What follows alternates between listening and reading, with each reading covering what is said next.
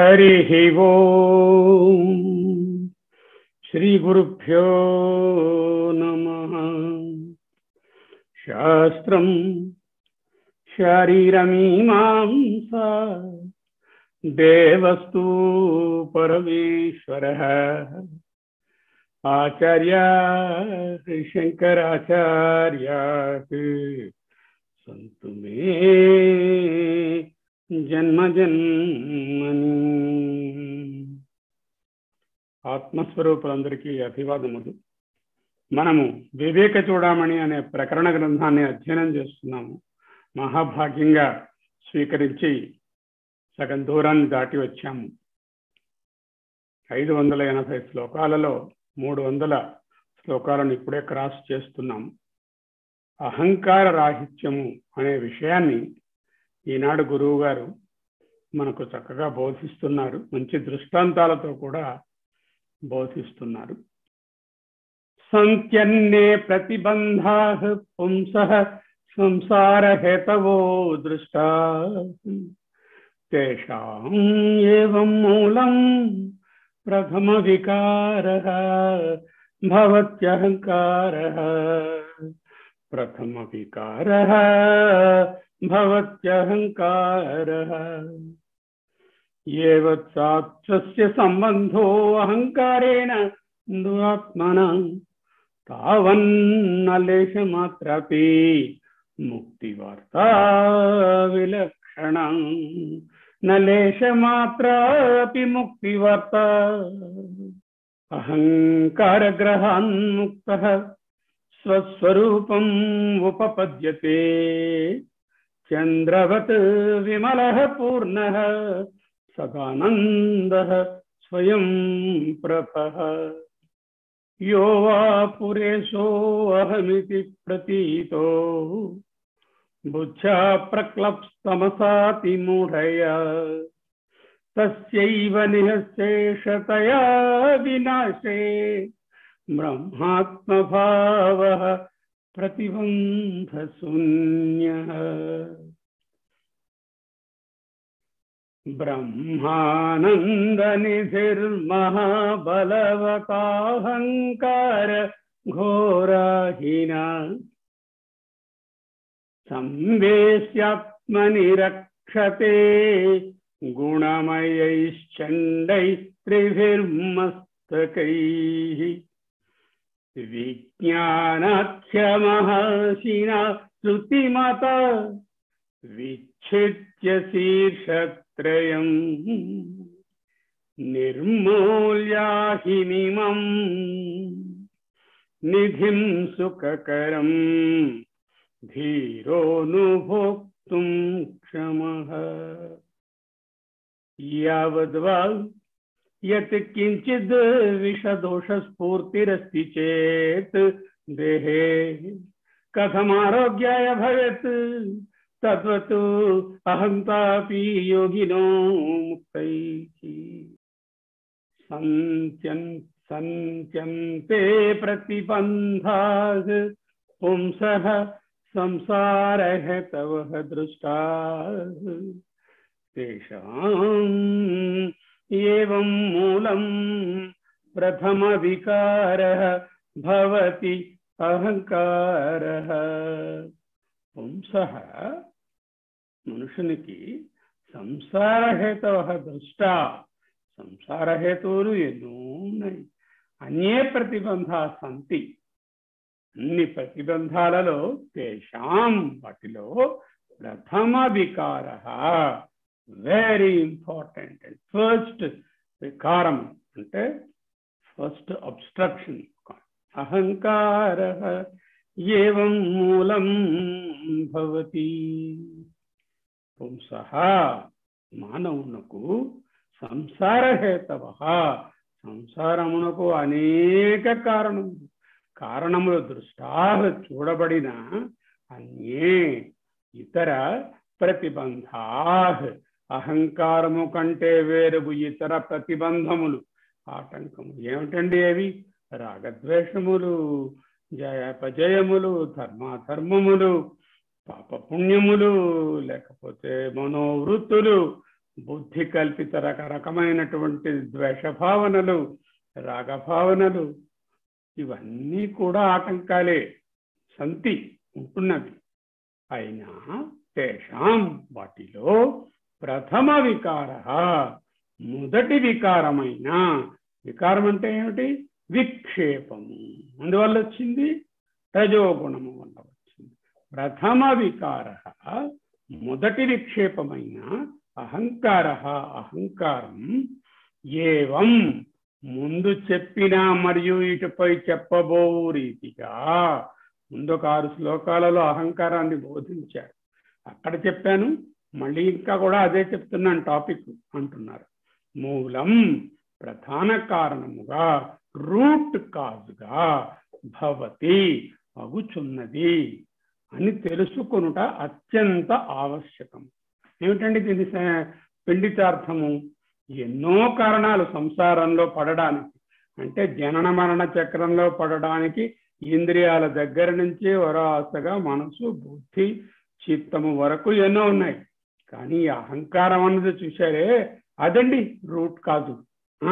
దాన్ని పట్టుకోండి. పట్టుకొని అహంకారాన్ని నిర్మూలన చేసుకోండి. అది ఈనాటి బోధన.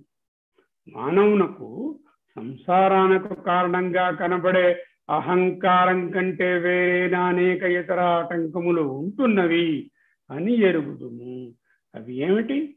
ఇంద్రియ భోగము ఇంద్రియ లోలుపత్వము. తరువాత సరి మనసుకు సంబంధించినటువంటి రాగద్వేషములు కోపం మోహాదులు పరిషడ్ వర్గాలు బుద్ధికి సంబంధించినటువంటి రకరకములైనటువంటి ఒక విధముగా అట్రాక్షన్ రిపల్షన్ ఇలాంటివి అన్నీ ఉన్నాయి. అసలు ముఖ్యంగా ఆత్మను తెలుసుకోకపోవడము అనేటటువంటి ఆవరణము ఉన్నది.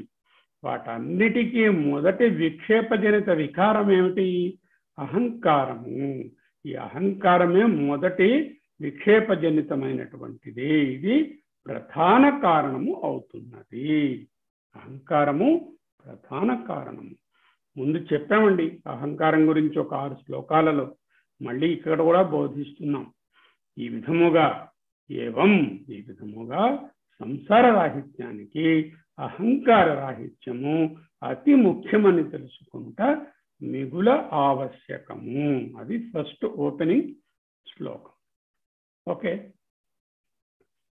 సంఖ్యన్యే ప్రతిబంధా అన్యే ప్రతిబంధా సంతి పుంస.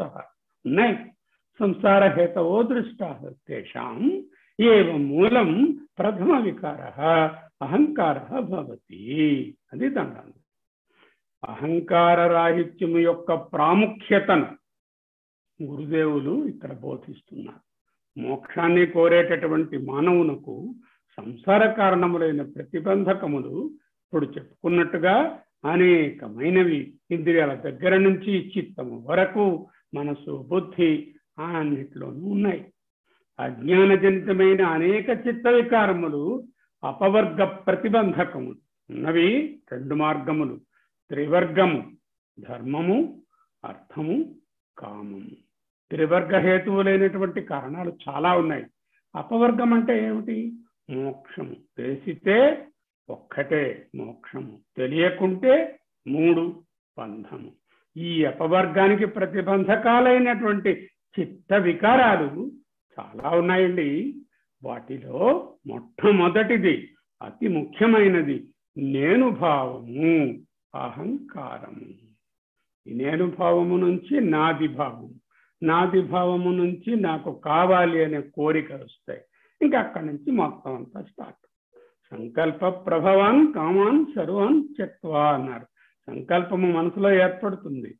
ఎందువలన? ఇది నేను కాబట్టి. నాకు కావాలి. మమత్వము నా వారు అనేటటువంటి అహంత మమతాభావము అహంకారము బీజము మమత అనేది వృక్షము. వస్తుంది కనుక అనేక సంకల్ప వికల్ప మనోవృత్తులకు మనోవృత్తులు అనేటటువంటి ఒక మేడకు పునాది ఉండాలిగా సౌధానికి. ఆ సౌధానికి పునాది ఏమిటండి? అహంకారము. ఈ అహంకారం తీసేస్తే పునాది లేక ఆ సంకల్ప వికల్పములైన మనోవృత్తులు అనేటువంటి సౌధం కూలిపోతుంది దాంతో సంసారము మరి ఉండదు. సో అహంకారము అటువంటి పునాది. అహంకారమును వృత్తి పొడమిన వెన్ వెంటనే మమకారమును త్రాచుపాము. పడగవిప్పును. ఇదే చెప్తారు అష్టావకర గీతలో మనం చూసాం. కృష్ణ అహిదంసిత అహంకరోతి ఇది అహంకార. నేను చేస్తున్నాను అనే అహంకారము లేక కర్తృత్వ భావము ఒక నల్ల త్రాచుపాముతో కరువబడ్డావురా నాన్న అంటూ ఆయన బోధించారు. దాని వలన రాగద్వేషాలు శోకమోహాలు అనే ద్వంద్వాల పరంపర మన మీద వచ్చి పడుతుంది. కాబట్టి మొట్టమొదటిగా అహంకారమును దునుమాడుమా? సమూలముగా నాశనము చేయుమా? అని తాత్పర్యం. సో ఫస్ట్ శ్లోకం తాలూకా ఇదేమిటి? తేషాం ఏవం మూలం ప్రథమ వికారో అహంకార భవతి. That is the the essence of the first shloka of today okay సంబంధో అహంకారేణ దురాత్మన తావన్నలేశమాత్రపి ముక్తివార్త విలక్షణ. యావత్ దురాత్మన అహంకారేణ స్వస్య సంబంధ సత్ తావత్. యావత్ అంటే ఎంతవరకు? తావత్ అంతవరకు. ముక్తి వార్త లేశమాత్రపి నా. అహంకారం అనే దురాత్ముడు మనతో సంబంధం కలిగి ఉన్నంత వరకు ఎంతవరకు? అహంకారం అనే దురాత్ముడు స్వస్య సంబంధాత్ తావత్ అంతవరకు. ముక్తి అనే ప్రసక్తే లేదండి. ముక్తి వార్త లేశమాత్రాపి మాత్రాపినా ఎందుకు? ముక్తి విలక్షణ. ముక్తి చాలా విలక్షణమైనది ఈ అహంకారం కన్నా. యావత్ ఎంతవరకు? దురాత్మన దుర్మార్గమైన అహంకారేణ అహంకారముతో తృతీయ స్వస్య తనకు సంబంధ సంసర్గము కలయిక స్యాత్ అగును ఉండును. దుర్మార్గమైనటువంటి అహంకారంతో మనకు ఎంతవరకు సంబంధం ఉండునో తావత్ అంతవరకు ముక్తి మోక్షమును వార్త ప్రసక్తి లేశ మాత్రాపి స్వల్పంగా కూడా కొంచెమైనను నా లేదు కలుగదు. విలక్షణ అట్టి వానికి ముక్తి వేరైనది అయిపోతుంది వాడిని పట్టుకోదు ఇంకా. ఎందుకంటే వాడు అహంకారి వీడికి మోక్షం ఏమిటి? అని వాడి నుంచి దూరంగా ముక్తి పారిపోతుంది అంటున్నారు. చూడండి. ఎంతవరకు దురాత్ముడైన వానికి అహంకారంతో తనకు సంసర్గము లేక కలయిక ఉండునో. అంతవరకు మోక్షం మాట కూడా కల్లయే. కొంచెమైనను లేదు కలుగదు. అట్టి వానికి మోక్షము ఎప్పుడును? వేరైనదే దూరమైనదే. చూద్దాం. యావత్ సాస్య స్వస్య సంబంధో అహంకారేణ దురాత్మన. తావన్నలేశమాత్రపి ముక్తివార్త విలక్షణ. అహంకారం తాలూకా వెర్రి బలాన్ని గురుగారు ఇక్కడ బోధిస్తున్నారు. కారు చీకటిగా ఉందనుకోండి సాయంత్రం రాత్రి అయిపోయింది కారు చీకటి లైట్లు వెలగదు కారు హెడ్ లైట్స్ ఎలా మరి ప్రయాణం చేస్తాము ఏర్పడింది నాకు ఒకసారి. చెన్నై నుంచి ఇంకొక ప- ఊరికి వెళ్తున్నప్పుడు రాత్రిపూట కరెంటు అది పిచ్ డార్క్గా ఉంది కార్ లైట్లు పనిచేయలేదు ఇప్పుడు ఏం చేస్తాం? ప్రయాణానికి మార్గం ఎలా తెలుస్తుంది అహంకారమును పెను చీకటి మోక్ష మార్గమును కప్పివేయును కప్పగాదు కప్పివేయును. పరమ కిరాతకమైన దుర్మార్గపు అహంకారముతో నేస్తమున్నంత వరకు ఒకటే మాట. పతనమే. అహంకారం ఉన్నంత దనుక ముక్తి అను మాటకు కూడా లేశమైన వీలుండదు. There is not even a prasakti of mukti ముక్తనే ప్రసంగం ప్రసక్తి మాట కూడా ఉండదు అహంకారమును పిశాచమునకు ముక్తి కాంతకు కడు దూరము అహంకారం పిశాచమైతే ముక్తి కాంత ఒక అందమైనటువంటి భావన అయితే ఆ రెండిటికి కడు దూరము అంటే విలక్షణము విలక్షణ అహంకారం ఉన్నంత వరకు పరమ సుఖమును పొందజాలడు అని తాత్పర్యం ఏమిటండి? ఈ రెండవ శ్లోకం తాలూకా తాత్పర్యము యావత్ అహంకారం దురాత్మన సంబంధ అస్తి తావత్ లేశమాత్రాపి ముక్తి వార్త వార్త విలక్షణ. లేశమాత్రాపి ముక్తి వార్త విలక్షణ. ప్రబల శత్రువైన అహంకారానికి జ్ఞానం అనేటటువంటి ముక్తికి చొక్కెదురు అంటాము. అంటే they are opposite poles one is poles apart అంటాం కదా? అది. అహంకార గ్రహాన్ముక్త స్వరూపం ఉపపద్యతే. చంద్రవత్ విమల పూర్ణ సదానంద స్వయం ప్రభ. ఆత్మతత్వాన్ని వర్ణిస్తున్నారు. అహంకారం కాని పోతే స్వయం ప్రభ సదానంద పూర్ణ విమల. ఎలాగా? చంద్రవత్. చంద్రుని వలే గ్రహాన్ముక్త చంద్రవత్. గ్రహము నుండి విడిపడిన రాఘు రాఘు అని గ్రహము నుండి నుండి విడిపడిన చంద్రుని వలే అహంకార విను వినిర్ముక్త. స్వరూపం ఉపపద్యతే. స్వరూపాన్ని పొందేస్తాడు. ఏమిటా స్వరూపము? విమలము పూర్ణము సదానందము స్వయం ప్రభము అహంకార గ్రహాత్ముక్త అహంకారం అనే ఈ రాహుకు రాహువు కేతువు ఇటువంటి గ్రహాన్ని నుంచి విడిపడినటువంటి వాడు చంద్రవత్ స్వయం ప్రభ విమల పూర్ణ సదానంద స్వరూపం ఉపపద్యతే స్వరూపాన్ని పొందుతాడు.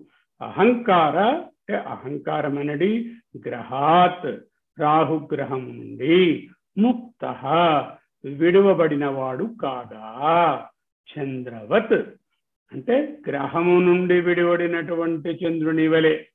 అంటే గ్రహణం నాడు గ్రహణం అంటే ఏమిటి? చంద్రుడు గ్రహించబడ్డాడు. అందుకే అది గ్రహణం. అది యాక్చువల్గా చంద్రగ్రహణం.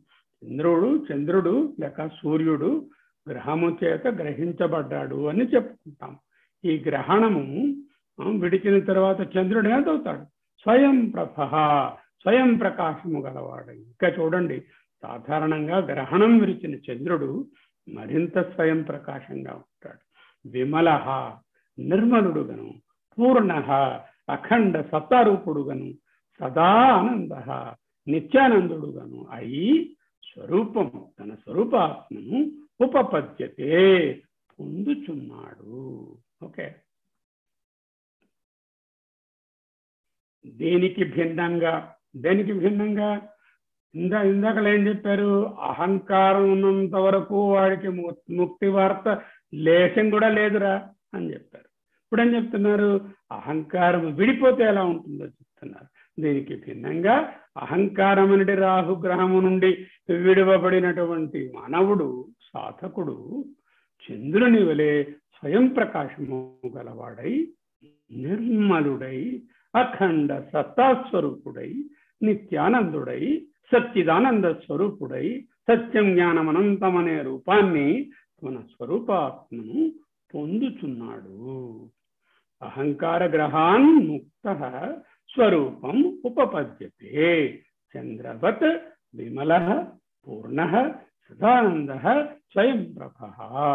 రాహుగ్రస్తుడైన చంద్రమ కళావిహీనుడై లోకమును అంధకారంలో నింపు అహంకారం అనే దానితో పట్టుబడినటువంటి మానవుడు అజ్ఞానం అనే అంధకారంలో తన జీవితాన్ని చీకటిమయం చేసుకుంటాడు. రాహువుచే విడువబడిన పిదప పూర్ణచంద్రుడుగా కాంతివంతుడై నిర్మలుడొగుతాడు. అహంకారం అనున్నది మానస స్వరూప ఆత్మ అనే చంద్రుని ఆవరించినటువంటి రాహువు వంటివి అంటూ ఒక ఉపమానంతో బోధిస్తున్నారు. చంద్రుడికి గ్రహణము ఆత్మకు ఆవరణ. ఏమిటి ఆవరణ? ఎందువల్ల వచ్చింది? ఈ గ్రహం ఏమిటి మనకు పట్టింది? మనకు పట్టిన గ్రహం తమో గుణము. అదే ఆవరణ. తమోజనితమైన ఈ ఆవరణము మన స్వరూపాత్మను రాహువును రాహువు చంద్రుని ఎలా ప్రకాశించనీయడో పూర్ణగ్రహణం అన్నాడు. అదే విధముగా ఆత్మను ప్రకాశించనీయదు. అహంకార రాహిత్యము కాగాని అంటే గ్రహణం విడిపోగాని నిరావరణుడై ఆవరణ లేనివాడై స్వరూపాత్మను తెలుసుకుంటాడు. అంటే చక్కగా స్వరూపాత్మ ప్రకాశిస్తుంది. స్వరూప ఆత్మ అది ఎటువంటిది అఖండ సత్తారూపము నిర్మలము అనంతము పూర్ణము ఆనంద చిద్రూపము అటువంటి జీవన్ముక్తుడు ప్రకాశిస్తున్న చంద్రునిలా ఇతరులను కూడా ప్రకాశింపచేస్తాడు. స్వయం తరతి పరాన్ తారతి తారయతి. అంటే వారు దాటుతారు అటువంటి మహాపురుషులు ఇతరులను కూడా తరింపచేస్తారు. చంద్రుడి ప్రకాశము తనకు తన ప్రకాశము కన్నా తన ప్రకాశములను ఇతరులకు ఎంత ఉపయోగము? అలాగే అహంకారం నుంచి విడివడినటువంటి ఒక సాధకుడు మానవుడు జీవన్ముక్తుడవుతాడు. అయితే ఏమిటి లాభము? ఆయన జీవన్ముక్తుడు కాకుండా కావడమే కాకుండా ఇతరులను కూడా చక్కగా తరింపజేస్తాడు. ముక్తి అనగా భవబంధ విముక్తి స్వరూప ప్రాప్తి. అది ఎక్కడా ఇక్కడే ఇప్పుడే. జీవన్ముక్తి ఎప్పుడు అహంకార రాహిత్యమైనప్పుడు. అహంకారం అనే గ్రహము మన స్వరూపాత్మను విడిచినప్పుడు. ఏమిటి చెప్పారు ఇక్కడ? అడిగితే పిండితార్థం అహంకార గ్రహాన్ముక్త స్వరూపముపపద్యతే పూర్ణ సదానంద స్వయం ప్రభ ఉపమానాన్ని పక్కన తీస్తే పక్కన పెడితే అహంకారం పోతే స్వరూపాత్మను తెలుసుకుంటారు అంటూ చెప్తున్నారు. యో వా పురుషో అహమితి ప్రతీత బుద్ధ్యా వివిక్తస్తమసాతి మూఢయ తస్యైవ నిశేషతయా వినాశే బ్రహ్మాత్మభావ ప్రతిబంధ శూన్య తమసా తమో గుణముచే అతిమూఢయా బుద్ధ్యా అవ్యక్త యశ అహం ఇతి యో వా పురా ప్రతీత తస్య నిశేషతయా వినాశ ఏవ ప్రతిబంధశూన్య బ్రహ్మాత్మభావ భవతి చూద్దాం తమసా అజ్ఞానం తమస అంటే చీకటి ఇక్కడ చీకటి అంటే తమో గుణం తమస అంటే తమో గుణం చే అజ్ఞానము చే. అతి మూఢయా ఆత్మస్వరూపమును వివేకముతో తెలుసుకున్న స్థితి అతి మూఢత్వం. మూఢత్వము అతి మూఢత్వం అన్నారు ఇక్కడ గురువు గారు అంటే మూఢ అంటారు మామూలుగా వివేకం లేని వాడిని. అతి మూఢయ అంటే ఆత్మస్వరూపం స్వరూప వివేకము లేశ మాత్రమైనా లేదు. బుద్ధ్యా బుద్ధి చేత అవిభక్త అశుచి అపవిత్రమైనదై. ఉపనిషత్తు చెప్పింది కదా శుచి అనేది అంటే పవిత్రత. ఆ పవిత్రత లేకుండా ఏష ఈ అహం ఇది నేను అనేది యోవా ఏ అహంకారము పూరా తొలుత నుండి ప్రతీత తెలియబడినదో మనం చిన్న పిల్లవాడు రెండేళ్ళు చేస్తే చాలు. నేను మొదలెడతాడు. అహంకారం. అక్కడి నుంచి అలాగ ఇది నువ్వు ఇది నువ్వు ఇది నువ్వు అని మనం బోధిస్తాం. నేను ఇది నేను ఇది నేను ఇది నాది ఇది నాది కాదు నేను వాడికి ఇవ్వను అంటూ వాడు నేర్చేసుకుంటాడు అంటే పురా. అంటే చాలా చిన్న వయసు నుండే ప్రతీత తెలియబడినదో తస్య ఆ అహంకారము నిశేషతయ. శేషము కొంచెం మిగిలి ఉండడం నిశేషము కొంచెము కూడా మిగలకుండా వినాశే ఏవా క్షయమైనప్పుడే ప్రతిబంధ శూన్య సర్వ ప్రతిబంధకములు అహంకారం అని చెప్పుకున్నాం కదా. అహంకారము మొదటి ప్రతిబంధకము. దీని మీద ఈ పునాది మీదే బిల్డింగ్ అంతా ఉంది. ఈ ప్రతిబంధాన్ని కానీ తీసేస్తే సకల ప్రతిబంధాలు అంతమైపోతాయి. అప్పుడేమిటవుతుంది బ్రహ్మాత్మభావ. బ్రహ్మమే తానను భావన స్థిరపడును కలుగును అని అర్థం. ఓకే. అజ్ఞాన కారణము వలన ఆత్మస్వరూపమును వివేకముతో తెలుసుకున్న జాలని. చూడండి. ఎందుకు ఆత్మస్వరూపం తెలుసుకోలేడు? వివేకం లేదు. వివేకం ఎందుకు లేదు? అజ్ఞానం వల్ల లేదు. తెలుసుకోకపోతే ఏమిటైంది? బుద్ధి అపవిత్రమైపోయింది. అప్పుడేమిటైంది కలుషితమైన బుద్ధి నేను అనేటటువంటి అహంకారాన్ని తెలియ తెలియజేస్తూ ఉంటుంది. ఆ అహంకారం కొంచెం కూడా మిగలకుండా క్షయమైనప్పుడు సర్వ ప్రతిబంధకములు అనంతమై అంతమై బ్రహ్మమే నేనను భావన స్థిరపడు ఓకే. యోవా పురై పురైష అహమితి పుర ఏష పుర ఏష పురైష పురైష అహమితి ప్రతీత బుద్ధ్యా అవివక్త అవివక్త తమస అతిమూఢయా తస్యైవ నిహశేషతయా निःशेषतया వినాశే సతి బ్రహ్మాత్మభావ ప్రతిబంధ శూన్య తామసగుణ ప్రభావం ఏమిటి దాని పనే ఆవరణ మూసేస్తుంది యథార్థాన్ని గ్రహింప చేయనివ్వదు యథార్థాన్ని గ్రహింపజాలని యథార్థ స్వరూపాత్మను తెలియకుండా ఆవరణ వచ్చింది తత్కార్యం ఏమిటవుతుంది బుద్ధి కలుషితమవుతుంది అది వ్యక్త అన్నారు విక్షేపం అయిపోతుంది కలుషితమైన బుద్ధి ఆవరణ తరువాత వచ్చే విక్షేపము రజోగుణము. ఆ విక్షేపం ఏం చేస్తుంది? ఈ దేహమే నేను అహంకారాన్ని చక్కగా గొప్పు తవ్వి నీరు పోస్తుంది. అహంకారం అనున్నది మొదటి విక్షేపము. ఆది నుండి పాదుకొనినది. ఈ విక్షేపజనిత అహంకారం అనే ప్రతీతి లేక ఆభాస అహంకారం పోని నిజంగా ఉన్నదా? కాదు. ఆభాస చిదాభాస. చిత్ ఈ అంతఃకరణంలో ప్రతిబింబించుట వలన ఏర్పడిన ప్రతిబింబమే ఈ అహంకారం. అది బయటకు చూడడం వలన బుద్ధి మనసు ఇవన్నీ నేను నావని బాధలు భావనలు బాధలు కలిగి ఆభాస ఏర్పడుతుంది. ఇటువంటి ఆభాస నిశ్శేషంగా శేషరహితంగా నశించవలే. అప్పుడు ప్రతిబంధ శూన్య సర్వ ప్రతిబంధకములు దాని వలననే కనుక అవి అన్నీ కూడా అంతమైపోతాయి. మూలము అహంకారము. మూలము నశించిన వృక్షము ఉండదు. చూడండి మన ఇంట్లో ఏవైనా చెట్లు అవి పనికిరానివి ఏమైనా పెరిగాయి అనుకోండి విషపు మొక్కలు ఇవన్నీ. వాటిని జస్ట్ అలా కట్ చేసి వదిలేము మూలం దగ్గర నుంచి తీసేసి అవతలు పడేస్తాం ఎందుకంటే మళ్ళీ పెరగకుండా. మూలం అహంకారం కాబట్టి అహంకారం అనే మూలం నశిస్తే ఈ సంసారం అనే వృక్షానికి మమత్వానికి ఉనికి ఉండదు. దేహాత్మభావ దుర్బలీకరణము కాగా బ్రహ్మాత్మభావము ప్రబలీకృతమని స్థిరపడును. దేహభావ దుర్బలీకరణ ఆత్మభావ ప్రబలీకరణ. అదే కదా చదువుతాలుక ఉపయోగం. విపరీత భావన ఉన్నంత వరకు అపరిచ్ఛిన్న బ్రహ్మతత్వ జ్ఞానము సిద్ధించదు అంటూ చెప్తున్నారు. ఓకే. ఇక్కడ ఏమిటి ముఖ్యంగా ఈ శ్లోకంలో తెలుసుకున్నాము? ఎవడైతే అహంకారం మొదటి నుంచి పాదుకున్నటువంటి అహంకారంతో ఉంటాడో వాడి బుద్ధి కలుషితమైపోయి వాడు తా అతి మూఢ మూఢుడుగా ఉంటాడు. అటువంటి వాడికి అహంకారము నిహస్తేషతయా వినాశే అహంకారము పూర్తిగా నశిస్తే బ్రహ్మాత్మ భావ ప్రతిబంధములు లేనిదై చక్కగా సిద్ధిస్తుంది. అది చెప్తున్నారు. ఒక beautiful verse is coming here. ఇది చక్కని రూపకంతో బోధిస్తున్నారు. ఒక పెద్ద పాము. ఆ పాము విషపు పాము. దానికి మూడు తలలు. ఈ మూడు తలలతో అది ఈ బ్రహ్మాండ బ్రహ్మానందం అనే నిధి ఉన్నది. దానిని చుట్టుకుని ఎవరు దాని పక్కకు వెళ్ళకుండా అడ్డేస్తుంది.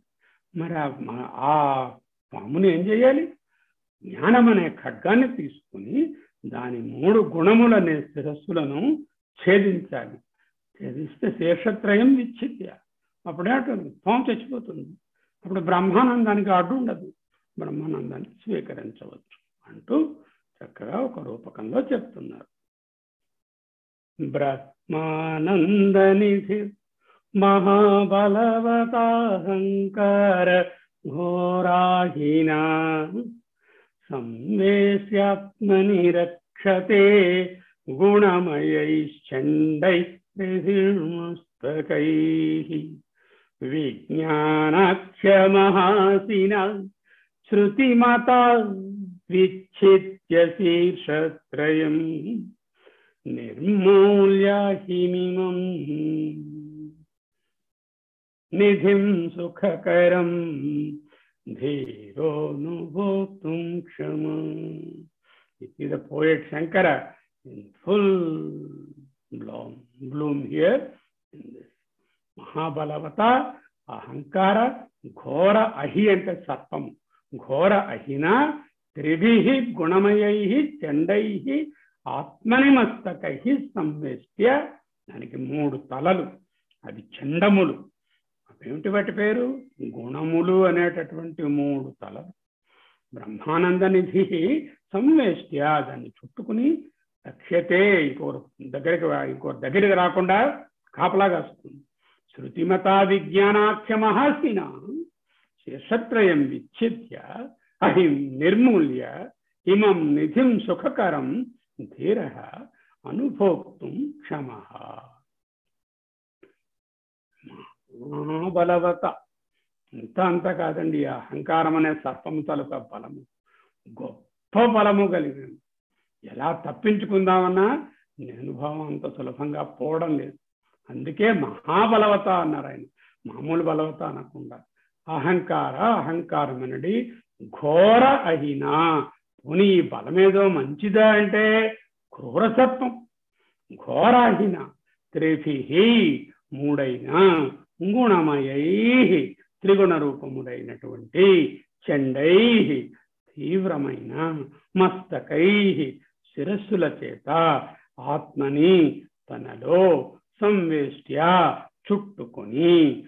పాము మూడు బుర్రలు. ఆ బుర్రలతో ఇలా చుట్టుకుంది. మధ్యలో బ్రహ్మానంద నిధిని పెట్టుకుంది. ఆ మూడు తలలు ఇలా ఎత్తి పట్టు పెట్టుకుంది. ఎవరైనా వస్తే ఠాక్ కాటేసిస్తుంది. మరెవడు బ్రహ్మానంద నిధి దగ్గరికి రావడానికి వీలు లేదు. నిధి బ్రహ్మాండం బ్రహ్మానందే బ్రహ్మానందం అనేటటువంటి నిధి రక్ష్యతే. కాపలా కాయబడుతుంది. ఎందుకు రక్షిస్తుంది? ఎవరు బ్రహ్మానందం పొందకుండా. రక్షతే అంటే ఇంత నెగిటివ్ సెన్స్ అక్కడ అన్నమాట కాపలా కాస్తుంది. అహంకారం దగ్గరికి వచ్చారా? కాటేసేస్తాను. అహంకారం నిర్మూలించినంత సులభం కాదు. ఈ బ్రహ్మానంద నిధి గిధి నీకు కావాలంటే ముందు నన్ను చంపు. ఆ తర్వాత దీని నుంచే సహస్ర చిరచ్ఛేద చింతామణి పాతాళ భైరవి గులేబకావళి కథ ఇలాంటి విఠలాచారి సినిమాలు ఎన్నైనా తీయవచ్చు ఎందుకు బ్రహ్మానందం అనేది ఒక నిధి అని చింతామణి అని ఏదో కల్పవృక్షం అని కామధేను అని పరశు అని పరశువేది అని లేకపోతే ఒక పాతాళ భైరవిని సృష్టించుకుంటే దాని చుట్టూ ఈ అహంకారం అనే పాములు ఉన్నాయి. ధీరుడైనటువంటి హీరో ఏం చేస్తాడు కత్తి పట్టుకున్నాను ఆ కత్తితో ఈ అహంకారాన్ని నాశనం చేస్తాడు. అహంకారం అంటే కనుక మూడు మూడు శిరస్సులు. విజ్ఞానాఖ్య విజ్ఞానం అను పేరు గల విజ్ఞానమనడు మహాసిన అది మహాబలవత అయితే నా దగ్గర మహాసి ఉన్నది. ఏమిటి ఆ అసి అంటే కత్తి ఖడ్గం. మహాఖడ్గంచే శీర్షత్రయం. త్రిగుణములనే మూడు తలలను విచ్ఛిద్య. మామూలుగా చిద్య కాదు విచ్ఛిద్య. పూర్తిగా తెగ నరికి అహిం ఈ అహంకారం అనే ఈ మహా సర్పాన్ని నిర్మూల్య. అంటే మూలము నుంచి తీసిడాన్ని నిర్మూలనం అంటారు అంటే మూలము లేకుండా చేయడం. సమూలముగా నా నిర్మూల్య అంటే సమూలముగా నాశనము చేసి. తల కోసిస్తే ఇంకా మూలం ఎక్కడుంది? పాము తలక మొత్తం మూలం అంతా తలే ఆ తల కట్టిస్తే పాము చచ్చిపోతుంది. అది సుఖకరం. సుఖమును కలుగజేయు. ఈ మం నిధిం ఈ బ్రహ్మానందం అనే నిధి దాని లోపల దాచేసింది కదా ఎవరికి కల దొరకకుండా ధీర ధీరుడు అనుభోక్తం అనుభవించుటకు క్షమ సమర్థుడవుతాడు. గొప్ప బలము కల అహంకారం అనే క్రూర సర్పము ఒకటి కలదు. దానికి త్రిగుణ రూపములైన క్రూరమైన భయమును గొల్పు మూడు స్థలలున్నాయి. ఆ శిరస్సులతో ఆ పాము బ్రహ్మానందమును నిధిని చుట్టుముట్టి ఎవరిని అనుభవింపనీయక నిరంతరము కాపలా కాస్తుంది. అయితే మరి ఎలాగా? నాకు బ్రహ్మానందం కావాలి. పెద్ద పాము ఉంది. ఆ పాముకు మూడు తలలు అవి మూడు గుణాలు. ఓహో నువ్వు ఈ గుణాల ముందు తమో గుణాన్ని తర్వాత రజోగుణం అనే శిరస్సుని తర్వాత సత్వగుణం అనే దాన్ని కూడా విడిచిపెట్టి నిర్గుణ స్థితికి చేరి ఆ పాముకు ఏ విధమైనటువంటి ఉనికి లేకుండా ఆ శిరస్సులను ఖండించు. ఎలా ఖండిస్తానండి? ఉపనిష్ ఉపనిషత్సారమైన గురుబోధతో కూడినటువంటి విజ్ఞానం అనే మహాఖడ్గం ఉన్నది కదా? నేర్చుకుంటున్నాం కదా? దానిని ఉపయోగించి ఆ త్రిగుణములు అనే ఆ మూడు తలలను పూర్తిగా తెగ నరికి అహంకారం అనే మహాసర్పాన్ని సమూలంగా నిర్మూల్య సమూల సమూలంగా నాశనం చేసి సుఖకరమైన ఈ బ్రహ్మానందమును నిధిని ధీరుడు క్షమ అనుభ అనుభోక్తం క్షమ అనుభవించుటకు సమర్థుడు. అహంకారమును భయంకరమైన మూడు తలల పాముగా రూపకం చేసి బోధిస్తున్నారు. ఈ కాళసర్పము బ్రహ్మానందమును పెన్నిధిని ఎవ్వరూ తాకకుండా అడ్డుపడుతుంది. ఆ పెన్నిధి బయట లేదు. ఆ పెన్నిధిని బయట వెతికినంత వరకు దొరకదు. ఆ పెన్నిధి మన స్వరూపమే. అప్పుడు పాము ఎక్కడున్నది? పాము కూడా మనలోనే ఉన్నది. అదేమిటది? త్రిగుణాత్మకము. మన స్వరూపాత్మ అనే బ్రహ్మానందం అనే నిధిని మన శరీరంలో ఉండేటటువంటి అహంకారము అనే త్రిగుణాత్మకమైనటువంటి పాము దానిని మనం చేరకుండా అడ్డుపడుతుంది. ఉపనిషత్ ప్రతిపాదిత ఆత్మానాత్మ విజ్ఞానం అనే గొప్ప ఖడ్గము ఉంది కదా. అదే మనకు గీతలో కూడా చెప్తారు. జ్ఞానాగ్ని దర్థ కర్మాణం. లేకపోతే జ్ఞానాసిన చిత్వైనం సంశయం అంటూ చెప్తారు. ఎక్కడైనా జ్ఞానాన్ని అసితో చెప్తారు. అంటే ఖడ్గంగా పోలుస్తారు. ఇక్కడ కూడా అలాగే పోల్చారు. గొప్ప ఖడ్గంగా వర్ణిస్తున్నారు. ధీరుడైన వివేకవంతుడు విజ్ఞానం అనే ఖడ్గంతో ఆ పాము తలలను నరికి నిర్జించవలే అంటే అహంకారాన్ని పూర్తిగా పోగొట్టుకోవాలి. అప్పుడేంటవుతుంది? స్వరూపమైన బ్రహ్మానందం బ్రహ్మానందం అనే పెన్నిధి తనలో ఉన్నదే తన సొంతం చేసుకుంటుంది. ఈ క్లెయిమ్స్ ఈ reclaims he status Brahma nothing to get from outside అది పొందుతాడు చేరుతాడు వెళతాడు కొంటాడు టికెట్ ఎక్కి ఏదో ఒకరికో వెళతాడు కాదు. సొంతం చేసుకుంటాడు. అంటే మన తాత తండ్రులు ఏదో ఒక భూములో ఏవో ఆస్తులు పెట్టారు. ఎవరో తెలియని వాళ్ళు ఈ పాములు లాంటి వాళ్ళు వాటినేమో మనకి అడ్డు పెట్టారు. ఆ అడ్డులను తొలగిస్తే అది మనదే మళ్ళీ మనకు సొంతం అయిపోయింది అంతే. అటువంటి విధంగా ఈ ఆత్మ తన స్వరూపమైన ఆత్మ సొంతం అవుతుంది పెనుపాము చచ్చింది. అహంకార విముక్తుడైనటువంటి ధీరుడు గుణాతీతుడైనాడు. ఇప్పుడు ఏంటవుతాడు బ్రహ్మవిత్ బ్రహ్మ ఇవ భవతి. అదే మనం తైతరీయోగంలో ఫస్ట్ మంత్రం అదే కదా. నేర్చుకుంటున్నాం మనం. ఫస్ట్ అనువాకంలో మొదటి మాట ఏమిటది? బ్రహ్మవిత్ ఆప్నోతి పరం. గుణాతీతుడైన తీరుడు బ్రహ్మమైనాడు. యావద్వా యత్కించిత్ విషదోష స్ఫూర్తిరస్తి చేత్ దేహే కథం ఆరోగ్యాయ భవేత్.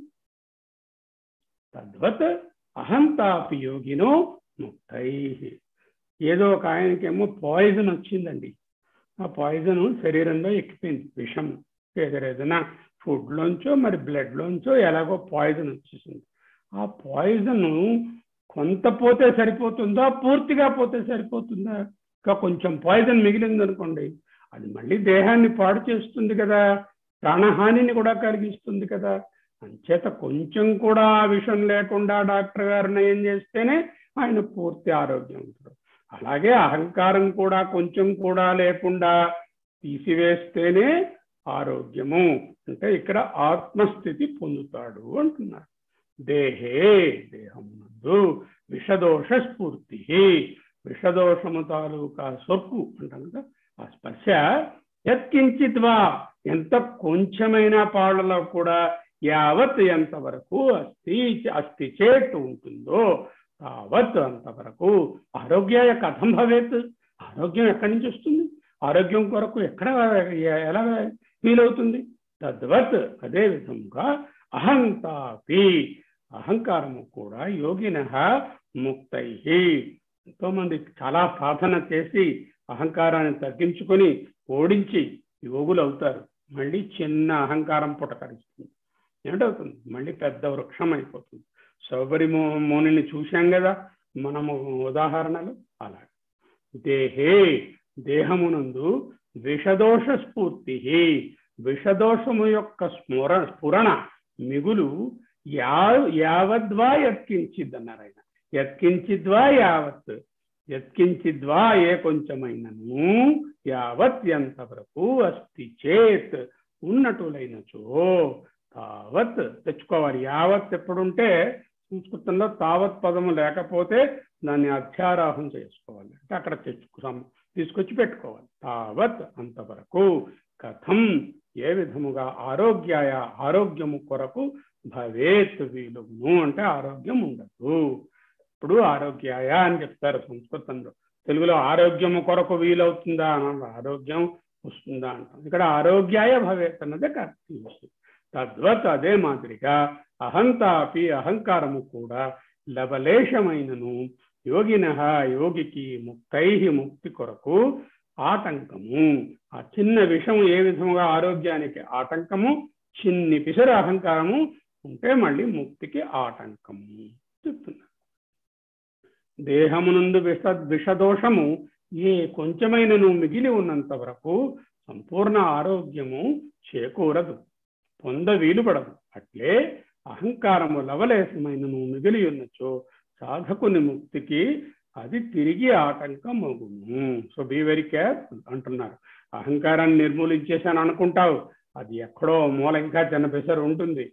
మళ్ళీ అంతే సంగతులు. నేను భావం ఏర్పడుతుంది దాని నుంచి నాది భావం ఏర్పడుతుంది దాని నుంచి కామనలు వస్తాయి. కామనల నుంచి కర్మలు వస్తాయి కర్మల నుంచి ఫలాలు వస్తాయి ఫలాలు వస్తాయి అనుభవించాలి అనుభవించాలంటే జన్మ కావాలి జన్మ వస్తాయి. దేహం వస్తుంది దేహం వస్తాయి. మళ్ళీ కర్మలు చేస్తాం మళ్ళీ అనుభవిస్తూ ఉంటాం. ఏమిటైంది ఇప్పుడు? అహంకారం మమకారము అహంకార మమకారాలతో పాటు సంకల్పములు. సంకల్పములేమో స్థిరపడి బుద్ధిలో అవి యాక్షన్స్ అయిపోతాయి. యాక్షన్స్ వల్ల ఫలితాలు ఫలితాలు అనుభవించడం ఫలితాలు ఇష్టం ఉన్నా లేకపోయినా ఫలితం వచ్చేస్తుంది. ఆ ఫలితాలు అనుభవించడానికి దేహాలు సంచీలు ఈ సంచీలు మూసుకుంటూ మళ్ళీ మళ్ళీ దేహాల కోసం తిరగడాలు. ఇవి జరుగుతుంది అహంకారమును విషదోషముగా నిరూపించి తన నిర్మూలనను బోధిస్తున్నారు. దేహమునందలి విషము పూర్తిగా పోనంత వరకు సంపూర్ణ ఆరోగ్యము చిక్కదు కదా. విషము రక్తము ద్వారా వ్యాపించి దేహాన్ని పాడు చేసి ప్రాణాన్నే హరిస్తుంది. విషదోషమును సమూలంగా తీయవేయకున్నచో అది రోగమును తిరగబెట్టును. కరెక్ట్ తెలుగు యూసేజ్ తిరగబెట్టింది రోగం అంటారు. అంటే రెమిషన్ ఎగ్జాజరివేషన్ అంటే తగ్గింది రెమిషన్ అంటే. మళ్ళీ వచ్చేసింది తిరగబెట్టడం అహంకారము కూడా అట్టిదియే. లేశమాత్రము మిగిలి ఉన్న చాలును. తిరిగి పుటకరించును ఇది కూడా మంచి తెలుగు యూసేజ్ పుటకరిస్తుంది మళ్ళీ అంటాం. అహంకార విషగ్రస్తుడు స్వరూప జ్ఞాన రహితుడై పతితుడగును. హా దుస్థితి. ఏమి దురవస్థ మనకు అహంకారము నిశేషముగా నశించిన గాని సాధకునకు ప్రయోజనం ఉండదు. ఈనాటి బోధన ఏమిటి? అహంకారము మోక్షమునకు అత్య అతి ముఖ్యమైన ప్రథమ ప్రతిబంధకము. అంటూ ఆరు శ్లోకాలలో బోధించారు. దీంట్లో దీంతో అహంకార బోధన ముగిసినది. వేరే టాపిక్లోకి నెక్స్ట్ వీక్ నుంచి వెళ్తాము అయితే సమరీగా ఒకసారి చూద్దాం ఈ ఐదు శ్లోక ఆరు శ్లోకాలని. మొదటిది ఏం చెప్పారు? టూ నైన్టీ నైన్లో మూలం ప్రథమ వికారో భవత్య అహంకార. అన్నిటికీ మూలము ముఖ్య ప్రతిబంధకము అహంకారము ప్రథమ వికారము. అంటే ప్రథమ విక్షేపము. దేని వలన వచ్చినది? స్వరూపాత్మ కప్పిపడిపోయింది అప్పుడు విక్షేపము రజస్సు తల ఎత్తింది.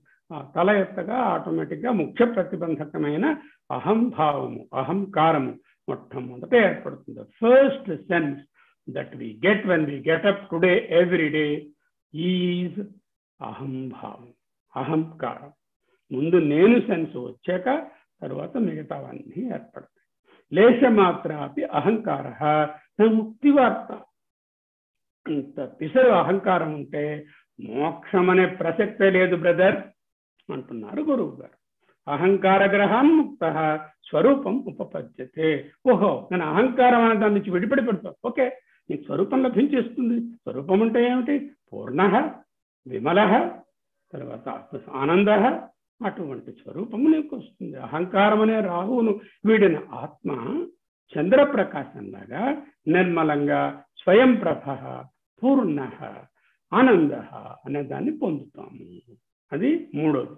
నాలుగోది అహంకార నిశేషతయ వినాశే సతి బ్రహ్మాత్మ భావ నిశ్శేషంగా అహంకారము వినాశనమైతే బ్రహ్మాత్మ భావము కలుగును అంటున్నారు. అయితే ఇక్కడ ఒక పెద్ద ఉపమానం చెప్పి మూడు తలల పామును చెప్పి ఆ పాముకి మూడు గుణాలనే తలలు ఉన్నాయని చెప్పి ఆ పామేమో బ్రహ్మానందం అనే నిధిని ఆ విధంగా మనం ఎవరు మనం ఎవరం చేరకుండా అడ్డేస్తుందని దానిని విజ్ఞాన విజ్ఞానాసిన విజ్ఞాన మహాసిన విజ్ఞానాఖ్య మహాసిన విజ్ఞానాఖ్య మహాసిన విచ్ఛిద్య శీర్షత్రయం. అహిం జహి అహిన్ని ఆ పామును చంపు. అహంకారం అనే కాళసత్వాన్ని జ్ఞాన ఖడ్గంతో నరుకుము అని మూడు వందల మూడు. యత్కించిత్ విషదోష స్ఫూర్తిరస్తి ఆరోగ్యం కథం భవేత్ కొంచెం విషం ఉండిపోతే కూడా శరీరంలో పూర్తి ఆరోగ్యం ఎలా వస్తుంది. అలాగే అహంకారం అనే విషము లేశమాత్రమైనా ఉండకూడదు అంటూ బోధిస్తున్నారు. దీనికి మనము ఈనాడు యోగ వాసిష్ఠి నుంచి కొన్ని ప్రమాణాలను చూడబోతున్నాం. మనము ఉపనిషత్తులను మిగతా గ్ర ప్రకరణ గ్రంథాలను సాధారణంగా చూస్తున్నాము. ఈ అహంకార విషయంలో యోగ వాసిష్యంలో చాలా మంచి శ్లోకములు గలవు. దీనిలో ఒక పది శ్లోకములను తీసుకోవడం జరిగినది. చూడండి. అయం సోహమదం తన్మే శాంతమిత్యేవ యశ్యన. జ్ఞానం తస్య నో శాంతి. నత్యాగో నచ నిర్వృతి. ఇంతకాల చెప్పిన మాటనే ఇక్కడ కూడా చెప్తున్నారు. నా జ్ఞానం తస్య. అటువంటి వారికి నా జ్ఞానం నా శాంతి నా త్యాగ నా నిర్వృత్తి ఎవడికి? అయం సోహం ఇదం తన్మే శాంతమిత్యేవ యశను దేదేహమే నేను ఈ గృహాదులు నావి.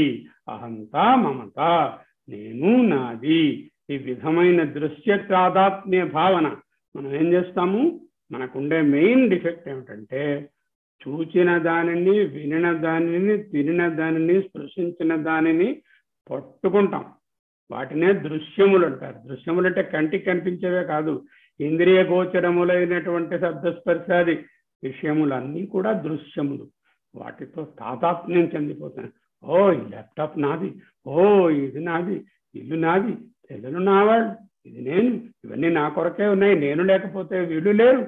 అనేటటువంటి దృశ్య తాదాత్మ్య భావన ఎవనికి శమింపకుండును నా శాంతం ఇత్యేవ న జ్ఞానం న శాంతి నా త్యాగ నచ నిర్వృతి అతనికి జ్ఞానము గాని శాంతి గాని త్యాగము గాని ఏమిటంటే త్యాగము? సినిమాల్లో చెప్పేటట్టు ఇద్దరు హీరోయిన్లు ఒక హీరోయిన్ హీరోయిన్ త్యాగం చేయడం కాదు. ఇక్కడ త్యాగం అంటే ఏంటి? వైరాగ్యం. దేనిని వైరాగ్యము అనాత్మను విరాగ భావంతో విసర్జించి దూరంగా పెట్టడం. అంతే కదా చెప్తారు భగవంతుడు. త్యాగం అంటే ఏమిటి అంటే మోక్షరూప ఆనందం కానీ ఉండనేరవు. తరువాత స్వభావ మాత్ర విజయే స్వయం యస్య నవీరత తస్యోత్తమ పదమ పద ప్రాప్తౌ పశోర్బ్రూహి కథైవ కా ఈ మాట అనిపారండి ఒక్కసారి. అజ్ఞానజనితమైన స్వాభావికమగు అహంకార మాత్రమును జయించుట ఎందు ఎవ్వనికి వీరత్వము లేదో ఎవడు ధీరుడు కాడో యస్య నవీరత. ఎందుకు? స్వభావ మాత్ర విజయే స్వయం యస్య నవీర్యత. తస్య అతనికి ఉత్తమ పద ప్రాప్తౌ అట్టి పశుర్బ్రూహి కథైవక. అట్టి పశువునకు అన్నారు. స్వాభావికమైన అహంకారాన్ని జయించడానికి ఎవరికైతే ధీరత్వము వీరత్వము విజ్ఞానము వివేకము లేదో అట్టి వారిని పశువుతో పోల్చారు. అట్టి పశువునకు ఉత్తమ పద ప్రాప్తం ఉత్తమ బ్రహ్మపద ప్రాప్తి ఎందు ఏమి ప్రసంగం ఉండుమో కథైవక బ్రూహి చెప్పు అంటున్నారు రామచంద్రునితో వశిష్ఠుల వారు చూసారా యత్కించిత్ స్వదతే స్వద స్వదతేంతస్తే బుద్ధి స్వబోధ ముత్సృజన్ న అసిత్వం చిరం అప్యంత ప్రేక్షితోపి నలభ్యసే నీవును అజ్ఞానమును త్యజించి అహంకారాది ఏ దృశ్య ప్రపంచమును ప్రపంచం నీ అంతఃకరణలో అనుభూతం అవుతున్నదో దృశ్య ప్రపంచం ఎందువల్ల వచ్చింది? అహంభావము అహంకారము నేను భావం వలన వచ్చినది. అది నీవు కావని ఎరుగుము. ఏలననగా ఈ దృశ్య వర్గమున చిరకాలము వెతికినను జీవితాంతము వెతికినను ఆత్మ లభ్యము కాదు. చిరం అత్యంత ప్రేక్షితో అపి న లభ్యసే. అత్యంత చిరం ప్రేక్షితో అపి న లభ్యసే. కావున దృశ్యమాత్ర రూపమైనటువంటి నియర్ ఎఫియరెన్స్ దృశ్యం అని ఎందుకన్నారు దృశ్యం అనేది ఉంటుంది పోతుంది. ఒక దృశ్యం సినిమా తెర మీద కనిపిస్తుంది. మళ్ళీ కనపడకుండా పోతుంది. మరో దృశ్యం వస్తుంది. అలాగే ఈ బుద్ధి వృత్తులన్నీ మనోవృత్తులన్నీ కూడా దృశ్యములు. వస్తాయి పోతాయి. మేర్ అపియరెన్సెస్ అజ్ఞానాన్ని వీడి దానికి సాక్షి అయినటువంటి ఆత్మయే నీవని ఎరుగు. రామచంద్రునకు వశిష్ఠ మహాముని యోగ వాసిష్ఠ్యంలో బోధ. మృగతృష్ణాంబువత్ విశ్వం అవస్తుత తదప్యసత్ తదసత్ తదప్యసత్ యచ్చ ఇదం భాతి తద్బ్రహ్మ న కించిత్. కించిత్ కించిదేవ కించత్ కించిదేవ యద్వా యావత్ అన్నట్టుగా కించత్ కించిదేవ అన్నారు.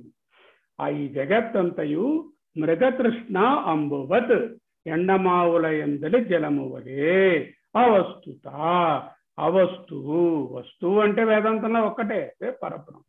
మిగతావన్నీ అవస్తువులే. అవస్తువు ఒకట చేత సత్ అపి అసత్. సత్తు వలె భాషిస్తున్నప్పటికీ అసత్ ఈ భాషించినదంతయు ఏమిటి? అధిష్టానంగా చూస్తే కనిపిస్తున్న దృశ్య ప్రపంచానికి ఈ ఎక్స్పీరియన్సెస్కి ఈ బోధలకు ఈ మనోవృత్తులకు కిందన ఉండే సబ్స్ట్రాటం ఆధారం ఆయతనం ప్రతిబోధ బ్రహ్మమే అయినది. కానీ జగత్ రూపముగా అవస్తువై బ్రహ్మము కానిదై మనకు దృశ్య రూపంగా అబ్రహ్మము. ఆధార రూపముగా అధిష్టాన రూపముగా బ్రహ్మము. చిదాదిత్య స్వ ఆత్మైవ సర్గ ఇత్యభిధీయతే. భూత్వా అహమితి తేనాన్యు నా సర్గో అస్తి నా సర్జక.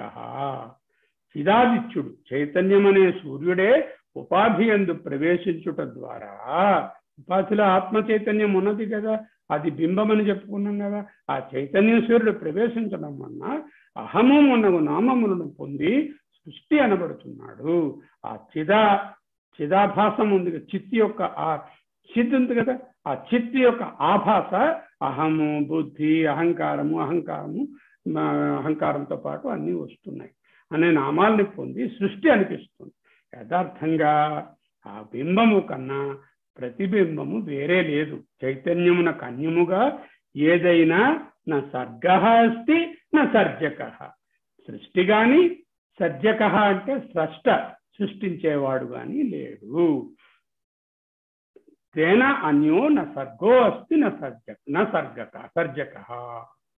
అహమాదౌ మమేత్యంతస్థ ఇచ్ఛా ప్రవర్తతే ఇదమర్థ శతానర్థకారిణి భవభారిణి. మొట్టమొదట ఆదౌ మన గురువు గారు చెప్పినట్టే మొట్టమొదట అహంక అహం ఆదౌ. దాని నుంచి మమేతి మా నా అంటే ఇది బీజము. ఈ బీజం నుంచి మమత్వం అనే వృక్షము ఆ పెదప ఇది అని వస్తుంది. ఇది నాది ఇది కాదు. ఇది ఇష్టము ఇది అనిష్టము. ఇది సుఖము ఇది దుఃఖము దీనిపై రాగము దీనిపై ద్వేషము. రూపమైన అనేక ద్వంద్వములను అనర్థాలను కలుగజేయునది. సంసారమును భరించున్నట్టుది దేవుడు ఇచ్చయని శాఖలు ఉన్నాయి. మొదట బీజమేమిటి? అందుకే అహంకారం. వృక్షమేమిటి? మామత్వము ఆ వృక్షానికి శాఖలేమిటి? ఇగో ఇచ్చ ఇదం ఇవన్నీ. అందుకే మన గురుగారు ఏమన్నారు? నిర్మూల్య అన్నారు. అహంకారాన్ని మూలంతో తీసేయి. అంటే బీజ రూపం దగ్గర నుంచే నాశనం చెయ్యి. అనహం వేదనాభ్యాస్యాత్మలోష్టాత్మకంచన భూత్వా శాంత భవాపీడో నరహ పరితామ్యతి పాజిటివ్గా చెప్తున్నారు. అహంభావము దానికి ఆపోజిట్ అనహంభావము అంటే అహంకారము లేని స్థితి. అనహంభావము యొక్క అభ్యాసము చే మనుజుడు సమలోష్టాత్మకాంచన అన్నారు కదా. దాంట్లో భగవద్గీతలో చెప్పిన మాట ఎగ్జాక్ట్గా సమలోష్టాత్మ కాంచన సువర్ణ బంగారము లోష్టము మట్టిగడ్డను సమముగా నించువాడై సంసార బాధ శమించిన వాడును భూత్వా శాంత భవ అపీడు శాంతం భవ అపీడు. అంటే పీడ. అంటే ఈ సంసారం అనే పేడ పోయింది. నరహ అటువంటి వాడు నా పరితామ్యతి మరల ఎన్నటికీ దుఃఖమును పొందడు. అంతే కదా చెప్తున్నారు. తరతి శోకం ఆత్మవిత్ నశోచ్చతి మనం ఉపనిషత్తులో నేర్చుకుంటున్నాం. అదే ఇక్కడ నేర్పిస్తాం. అహం భావ పిశాచోయం అజ్ఞాన శిశునామునా అవిద్యమాన ఏవంత కల్పితస్తేన సంస్థిత. అక్కడ ఆయన సర్పం అన్నారు. ఇక్కడ అహంకారాన్ని పిశాచం అన్నారు ఎవరికి ఉంటుంది పిశాచం అజ్ఞానం అనే బాలకుడికి? ఎవరికైతే అజ్ఞానం ఉంటుందో ఎంత పెరిగిన వారైనా వయసున్న వారైనా విద్వాంసులైనా చదివిన వారైనా పండితమన్యులై బాలకుల వలె ప్రవర్తిస్తారు.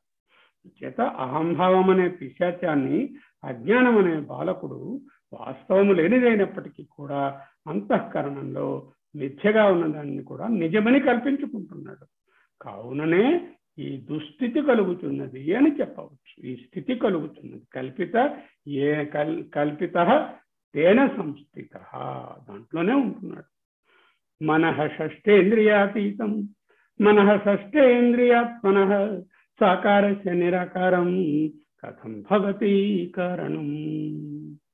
మన షష్టాని ఇంద్రియాణి ప్రకృతి తాన్ స్థాని కరిష్యతి శ్రోత్రం చక్షు చరసనం ఘ్రాణమేవ అంటూ చెప్తారు అక్కడ. అలాగే మనసుతో కలిపి ఐదు. మనసుతో కూడిన పంచేంద్రియముల యొక్క విషయమైన సాకార జగత్తుకు సాకార జగత్ ఎక్కడి నుంచి వచ్చింది? మనసు పంచేంద్రియాలు. మనం మొన్న కఠోపనిషత్తులో గురుగారు చెప్పారుగా ఇంద్రియాలు ఇంద్రియార్థాలు మనసు. తర్వాత బుద్ధి తర్వాత మహత్. మనసుతో కూడిన పంచేంద్రియముల యొక్క విషయమైన సాకార జగత్తుకు మనసుతో కూడిన పంచేంద్రియములకు అతీతమైనటువంటి ఇంకా మహత్తును కూడా దాటినటువంటి నిరాకార పరబ్రహ్మము కారణమట్లు కాగలదు. ఇట్ కెనాట్ బి ఏం స్థితే కుత సర్గ కుతో విద్యా క్వచాజ్ఞత బ్రహ్మశాంత ఘనం సర్వం క్వాహంకారాదయ స్థిత. అక్కడ చెప్పారు కదా అహంకారము అనేటటువంటి రాహు వదిలేస్తే చంద్రుడు ప్రకాశిస్తాడు. అప్పుడు శాంతం ఘనం అవన్నీ ఉంటాయి. అహంకారం ఉండదు. ఈ విధముగా చిదాకాశమే చిదాకాశమున స్థితి కలిగి ఉండగా చిదాకాశము అంటే ఏమిటి? చిత్ చిదాభాస. చిత్ అంటే బింబము చిదాభాస అంటే ప్రతిబింబం చిదాకాశ చిత్ యొక్క ఆకాశం. చిత్తాకాశము అంటే ప్రతిబింబం. చిదాకాశము అంటే చిత్. సో అదే మన తరక చైతన్యం. ఇక సృష్టి ఎతట ఏవం స్థితే ఆ చిదాకాశంలో ఉన్న వాళ్ళకు అంటే ఈ ప్రతిబింబం నుంచి దూరమై బింబాన్ని చూస్తున్న వాళ్ళకు కుత స్వర్గ సర్గ వాళ్ళకు సృష్టి ఎక్కడ? కుతో అవిద్య అవిద్య ఎచ్చట క్వచ అజ్ఞత అజ్ఞానం ఎచ్చట అహంకార ఎదహక్వ అహంకారాదులు ఎచ్చట అంతయు శాంతం చిద్ఘనమైనట్టు బ్రహ్మమే అయి ఉన్నది అంటూ నేర్పించారు. ఒకసారి గీతా శ్లోకాలను కూడా చూసుకుని మనము ఈనాటికి విరమించుకుందాం. ప్రకృతై క్రియమాణాని గుణై కర్మాణి సర్వశ. గుణములనే మూడు తలలున్న పాము ఉన్నది కదా దాని వలన ప్రకృతి అంటే మాయ. మాయ మాయకార్యమైన గుణాలు గుణాని వలన అన్ని కర్మలు సర్వశ. అహంకార విమూఢాత్మ కర్త అహమితి మన్యతే. ఓహో నేనే చేస్తున్నాను. నేను లేకపోతే నేను అట్లాసు నేను హెక్కులెస్ నేను ఆదిశేషుడు నేనే ప్రపంచాన్ని మోస్తున్నాను నేను లేకపోతే పడిపోతుంది ఇదంతా అనుకుంటూ ఉంటాం. అహంకారం బలం దర్పం కామం క్రోధం చ సంశ్రిత ముందు నెగిటివ్ వాడి గురించి చెప్తున్నారు పదహారవ అధ్యాయం.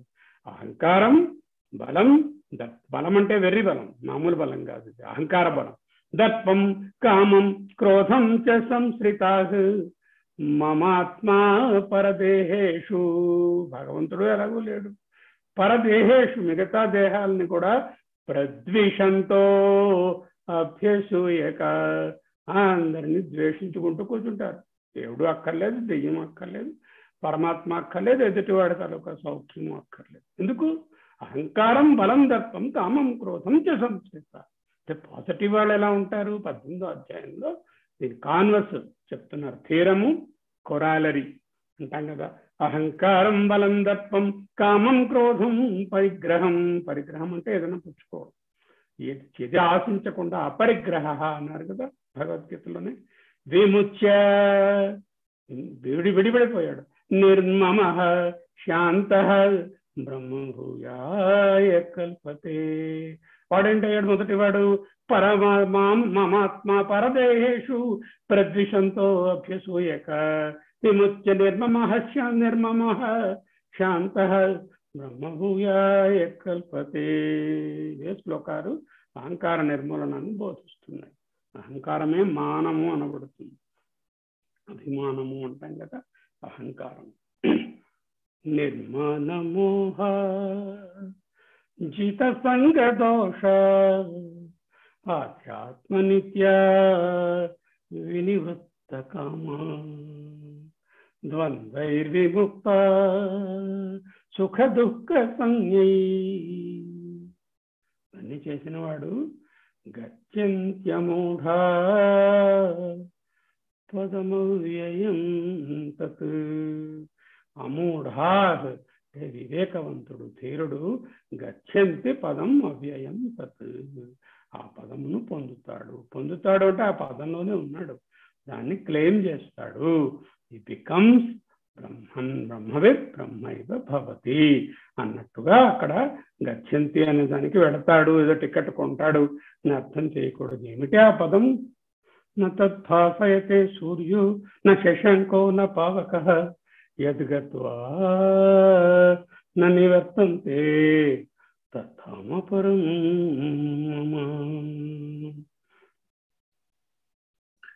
ओके यस्येदं हृदये सम्यक् अनात्मस्त्रीविगर्हणं सदोदेति स एवात्मा साक्षात्कारस्य भजनम्। अन्ये तु मायिकजगद्भ्रान्तिव्यामोहमोहिता न तेषां जायते क्वपि। स्वात्मसाक्षात्कार కృతిభువి ఒకటి పాజిటివ్ సెంటెన్స్ ఒకటి నెగటివ్స్ ఇది శ్రీమత్ పరమహంస పరివ్రాజకాచార్యస్య శ్రీ గోవింద భగవత్ పూజ్యపాద శిష్యస్య శ్రీమత్ శంకర భగవత కృతౌ అనాత్మశ్రీ విగ్రహణ ప్రకరణం సంపూర్ణం. ప్రతిసారి అహంకారం అనే శ్లోకాలు చెప్పుకో చెప్పుకుంటున్నప్పుడు మూడు మూడు తెచ్చుకున్నాం. మొత్తం ఆరు ప్రజెంటేషన్లో పద్దెనిమిది శ్లోకాలు అయిపోయాయి. ఇది అనాత్మశ్రీ విగ్రహణం. కావలసిన వాళ్ళు చదువుకోవచ్చు. గురువులందరికీ అనేక ప్రణామములు. ఈనాటి అధ్యయనము ఇంతటితో ముగించుకుందాము. గురువుల ఆశీస్సులకు సభ్యుల స్పందనలకు మనము వేచి ఉందాము. సరే పర్వాలేదు. ఈ పుస్తకము సీతారామాంజనేయ సంవాదం అనేది నారాయణ గురుజీ గారు నాకు ప్రేమ కానుకగా ఇచ్చారు చదువుకోమని. ఒక పద్యం చదువుతాను వినండి తెలుగులోనే ఉంటుంది. ఎంతో అందమైన భాషలో రాసి పెట్టారు ఆయన. రాసినటువంటి మహానుభావుల పేరు కూడా ఒకసారి స్మరించవలసిన అవసరం ఉన్నది. పరశురామ పంతుల లింగమూర్తి గురువు గారు గ్రంథకర్త. దానికి వ్యాఖ్యానం చేసిన వారు వజ్జల నారాయణ శాస్త్రుడు గారు. సీతారామాంజనేయ సంవాదంలో శ్రీరామచంద్రుడు ఆయన హనుమత్ హనుమస్వామికి ఈ ఆత్మ ఈ అనాత్మ గురించి మాయన గురించి చెప్తున్నటువంటి స్థితిలో ఉన్న పద్యం చాలా అందంగా వచ్చింది పద్యం. మాయను మిథ్యగా తెలియు మాయను. మాయను మిథ్యగా తెలియు మాయను. మాయను అనే మాట ఎన్నో మార్లు వస్తుంది ఈ శ్లోకంలో. అది ఇక్కడ ఉన్నటువంటి పద్యంలో ఉన్నటువంటి ప్రత్యేకమైన శబ్దాలంకారము. మాయను మిథ్యగా తెలియుమాయను రామచంద్రుడు కర్త చెప్తున్నాడు. తత్కృతమెల్ల కళ్ళ సుమాయను మాయాకృతం అంతా కల్ల సుమా మేను నేననకు నేను శరీరము నేననకు మాయను.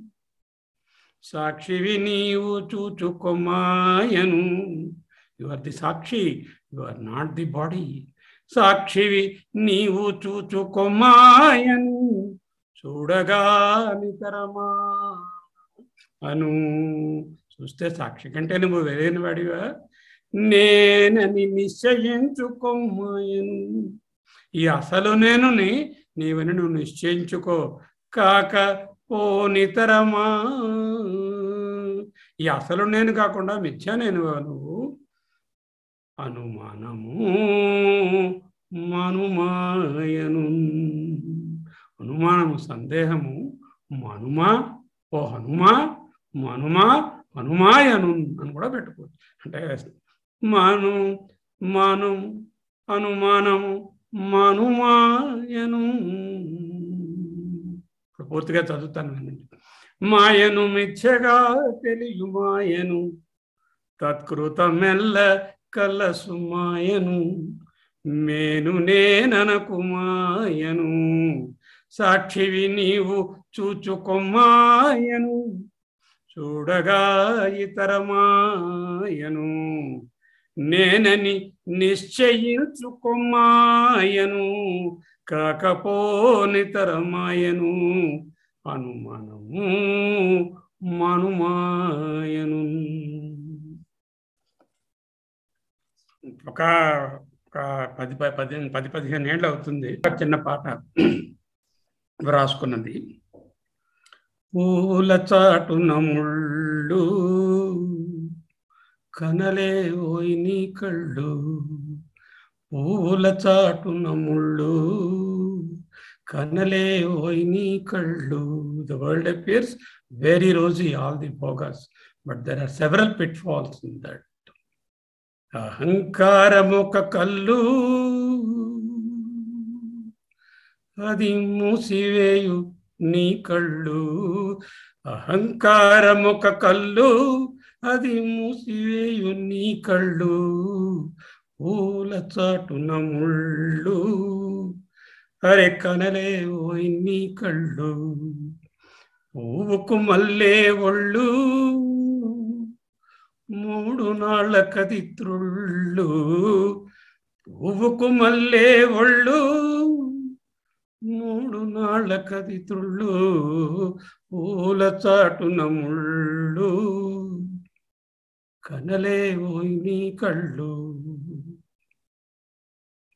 నీలోనున్నది కుళ్ళు. అహంకారమా నువ్వెళ్ళు. పూల చాటున ముళ్ళు కనలే ఓయ్ నీ కళ్ళు అహంకారము నువ్వు వెళ్ళు పూల చాటున ముళ్ళు అరెరెరే కనలే ఓయ్ నీ కళ్ళు.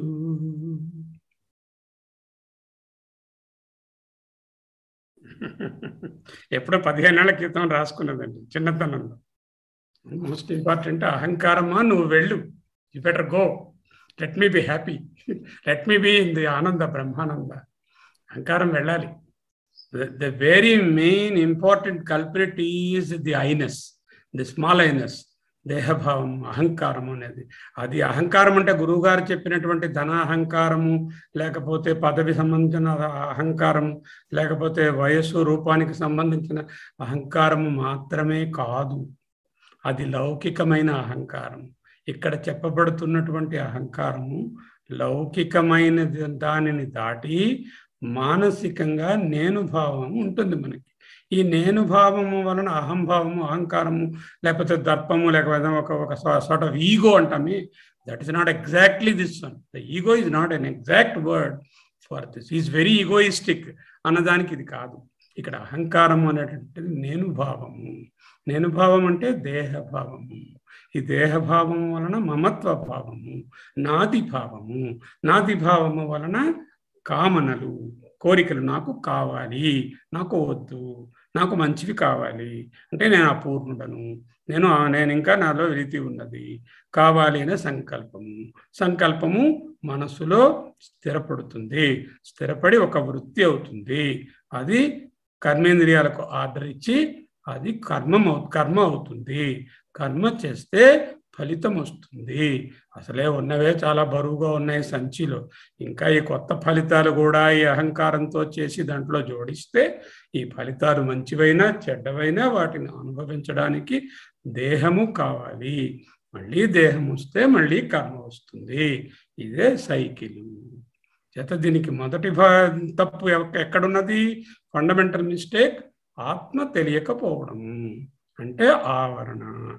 ఈ ఆవరణ రాగానే type two error. Second error ఏమిటి? విక్షేపము ఏమిటి? నేను అహంకారం. అది నిర్మూలించుకో. నిర్మూలించుకుంటే ఆత్మభావం ఆటోమేటిక్గా తెలుస్తుంది. అది ఇక్కడ పాయింట్. పూల చాటున ముళ్ళు కనలేవు అవి నీ కళ్ళు. బాగుంది సార్. మూడు నాళ్ళకది త్రొళ్ళు? అహంకారం ఒక కళ్ళు అది మూసివేయు నీ కళ్ళు. ఇంటాక్సికేటింగ్ అనమాట అంటే అహంకారమా నువ్వు వెళ్ళు.